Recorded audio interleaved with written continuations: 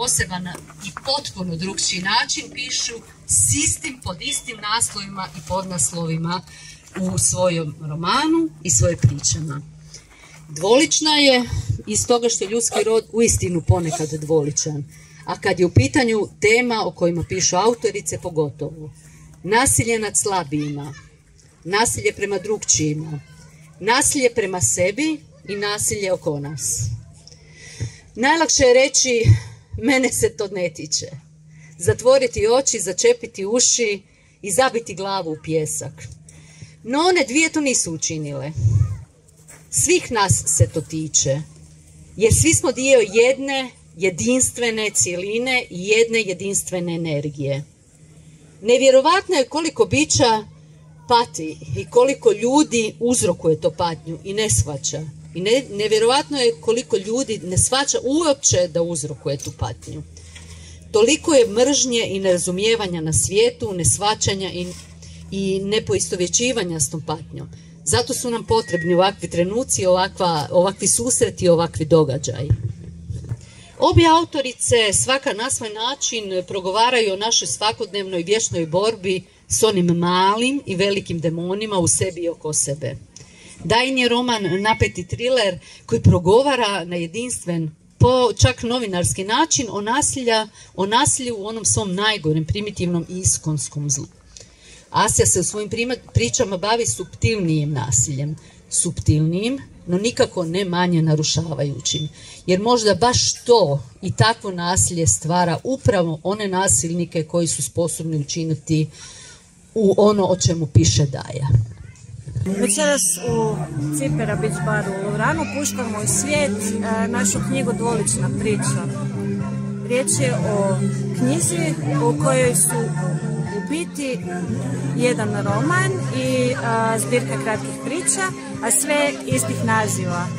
Po uzoru na paralelni slalom e, Jurkovića i Ogurlića iz 80. u Rijeci.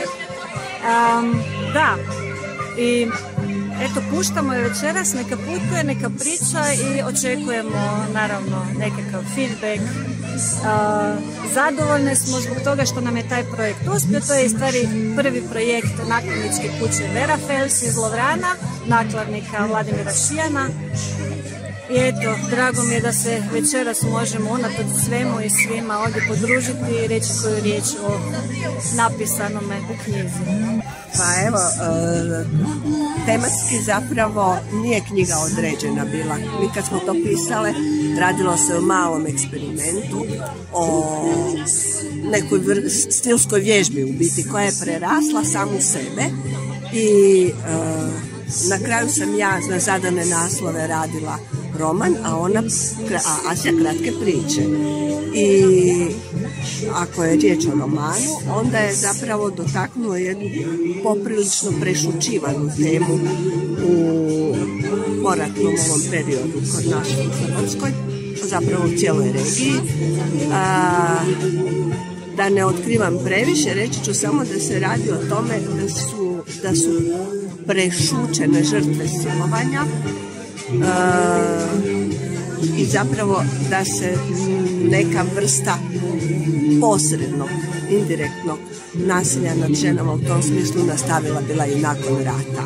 I, e, tako da na razne aspekte dotiče nasilje prema nasilju u društvu općenito našem suvremenom, međutim ne samo, ne samo u Hrvatskoj ima nekih sitnih malih referenci i na stvari koje se trenutačno događaju i u Africi i u, a sad nažalost još će se više produbiti s ovim svime što se sad zbiva u Afganistanu.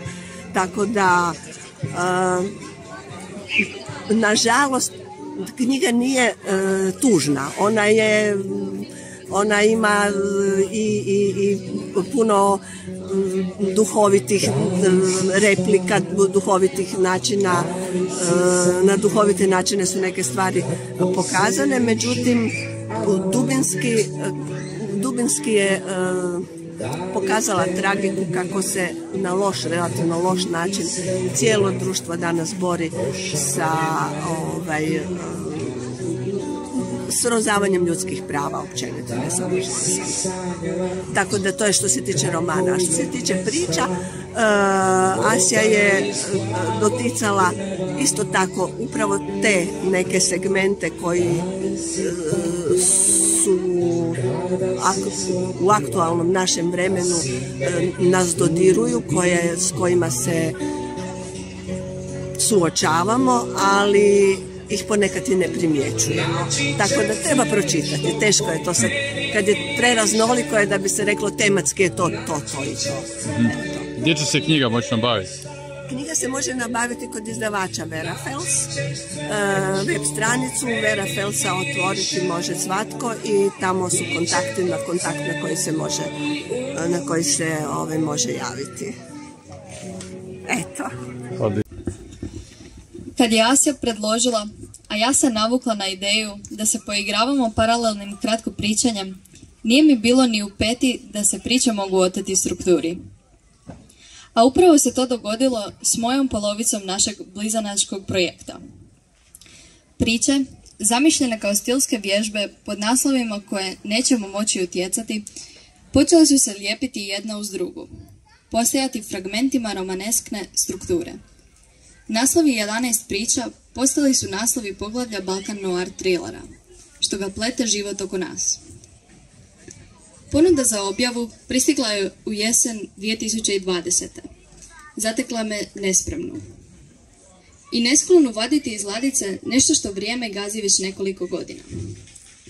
Što ako su neke reminiscencije na faktografiju u međuvremenu postale pase? Na novo me čitanje rukopisa i zaprepasilo i rasužilo. Protokom vremena se nasilja svih mogućih oblika, pa tako i ona kojih se u jednom tematskom sloju dotiče ova dvolična priča, u našem društvu produbljuju, što više poprimaju nove, sve sofisticiranije oblike manipulacije i potiranja ljudskosti.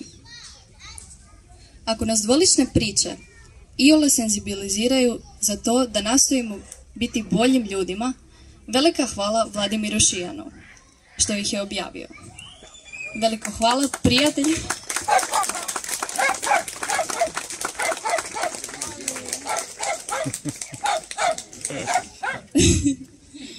Veliko hvala prijateljima koji su nas konstruktivnim kritikama bodrili da ustrajemo.